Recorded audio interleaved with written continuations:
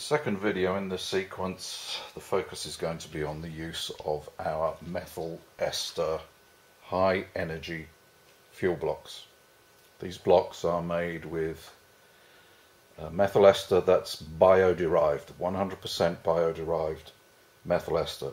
It's non-toxic, both um, as the chemical and the combustion products, unlike hexamine and trioxane which are both toxic in themselves, as are the combustion products from those two fuels.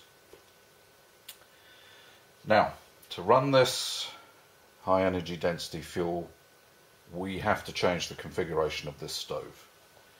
And we do that by the insertion of a different crucible configuration that simply slides into the stove and sits there under gravity. We then replace the pan holder frame into position.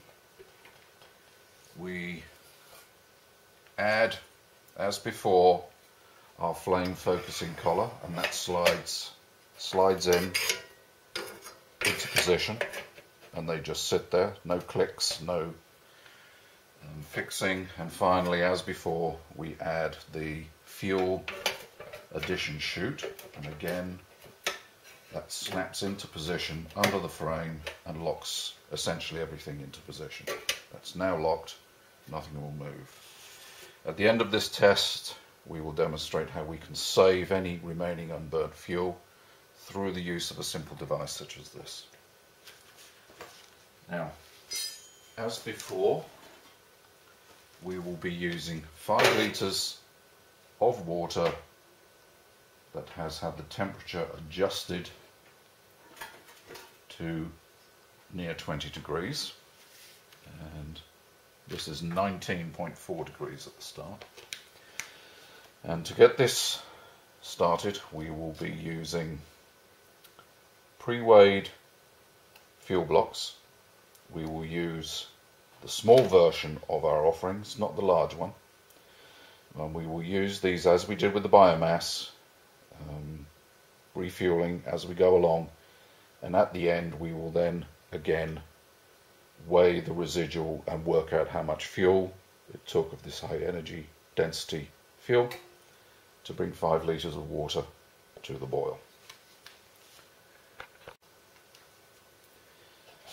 So this fuel that we start with are pre-broken off individual blocks. These will come as a large block that are you snap off what you need to use. So let's get this started. The first thing we need to do is to pre-charge the chamber with a, three of these. So we slide it in underneath, one, two, three. The fourth one we light before we push it in. So the fourth one sits on the pan. We will light it.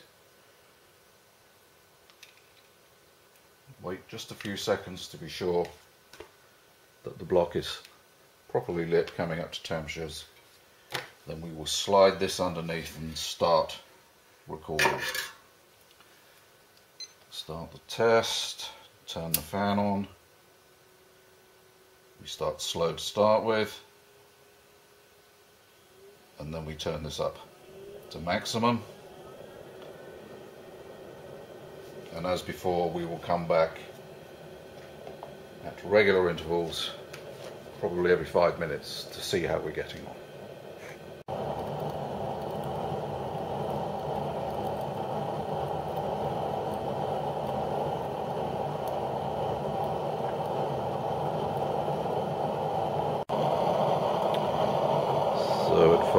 minutes in. We are at 43, 44 degrees. And there is no need for any more fuel to be added just yet.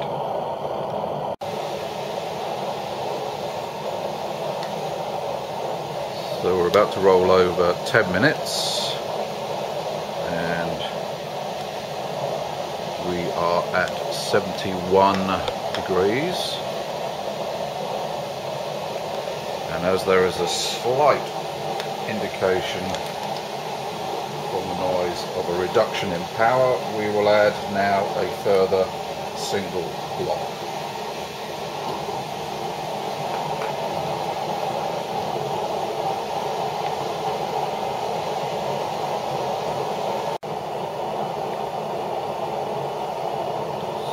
are about to roll over 15 minutes now and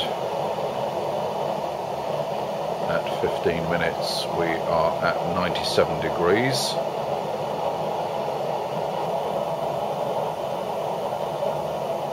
and we are now boiling at 15 minutes and 45 seconds.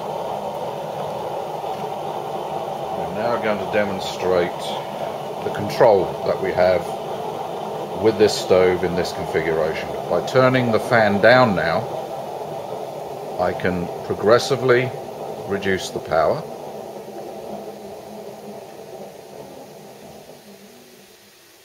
And by going down to minimum setting on the fan, we are now at what would ordinarily be termed a fast simmer. We can go down and turn the fan off, although we don't really need to do that.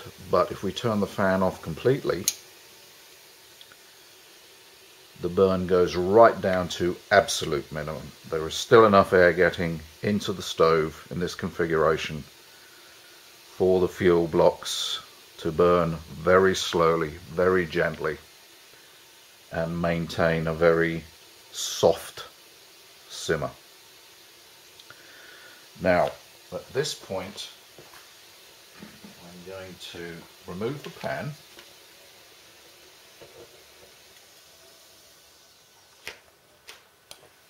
And now demonstrate that we can indeed. I'm going to just roll in a little bit so that we can see that we still have very clean burn hardly any luminosity to the flame and no smoke. And I want to demonstrate that there is clearly fuel still burning in this stove, but we can save the remaining fuel for use later, on a later occasion. And it's very simply done by using a very simple device that we're calling a snuffer. We just place this over the top and it's out. And once this has cooled down, we will then weigh the residuals left over to de determine just how much fuel we have used for this demonstration. So, weighing the residual left in this crucible and taking into account the unburnt fuel that was left in the tub, we on this test got 5 litres of water to the boil using just 120 grams of these high energy methyl ester based fuel blocks.